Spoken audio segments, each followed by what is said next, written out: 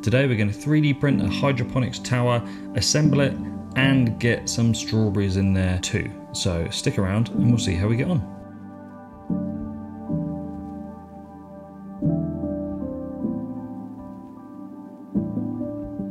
Yep, so as I started the video, we started off by printing a hydroponics tower. These files came straight from printables.com. I'll put links in the description if you want to have a go at doing this yourself. It does take an awful lot of filament to print these. I used black PLA Meta for this and it printed really well. So with everything printed and ready for two layers, I went about by drilling a hole in a infamous Canadian Tire bucket, nice and cheap and cleared up the hole and went about marking the fixing holes for the base. So simple Sharpie, marked the holes and then used a stepper bit to drill those holes out and I printed some plastic nuts and bolts because I can. I like to use the 3D printer wherever possible. It's much better than having kind of metal components within a plastic environment. PLA holds up to water really, really well, much better than a lot of people think. So you're good to go with this if you've got a 3D printer.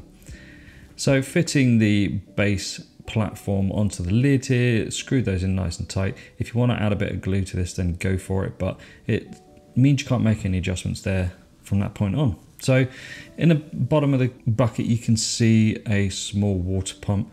This is 24 watts if I recall. And it's power adjustable, so it's got a little thing on the front that you can turn and it turns the power up and down. So as we're only starting small, this will be turned right down to its lowest power setting. I've cut a little notch on the side at the top where the lid attaches just so the cable can come out nice and neatly without causing any problems. This hydroponics tower just simply twists together. So all the components just twist on.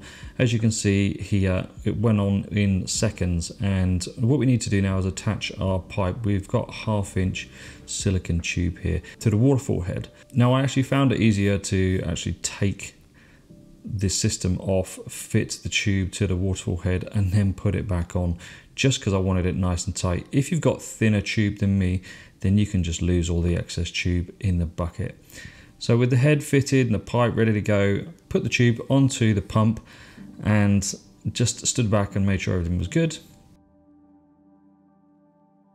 It's looking pretty decent there, so it was time to fill it up with water. This was pH adjusted water at 5.9 and a quick plug-in test, make sure everything was running. As you can see from the top, nice flow of water and that's the lowest setting so I can actually go right up. So I'm, I'm gonna add to this over the next month or two and I'll just do show you those in update videos. In a trip to Costco, I picked up this bag of bare root strawberries. There's supposed to be 30 bare root strawberries in here yeah, as you can see, they're pretty dry, held together by some elastic bands. So we need to clean these off before we put them in our system. So after cleaning the sink thoroughly, because we don't want anything to contaminate our plants, we're gonna go about soaking these and getting as much of the soil remnants out as possible. After a couple of goes around, the water started to get clearer, but they were still quite grainy. So I got the spray head out on the tap and just went over all of these and made sure they were as clean as they possibly could be. Then at that stage, I started trimming off all last year's hard stalks, make sure they're nice and clean, ready for the new system, and then went about fitting them into the tower. I'm going to use a combination of uh, growth sponge and clay pebbles here just to keep them nice and steady in the spaces. These printed net pots are pretty big. You know, they can take a two inch net pot without any issues. And as you can see, this like this one, it's really small, but I don't want to waste it. So out comes a bit of growth sponge. This is just poly sponge. It's nothing special. And I printed these net pots here with, with the tip just missing here so I can actually thread some roots down in it nice and easy. And it means that the roots don't have to fight to get out, they can go straight in and it does make the job a little bit easier. So one final one to go, as you can see there, the end off, we can push the roots right down through, it means they're gonna have a really nice simple start. We're gonna backfill that with clay pebbles and put it in.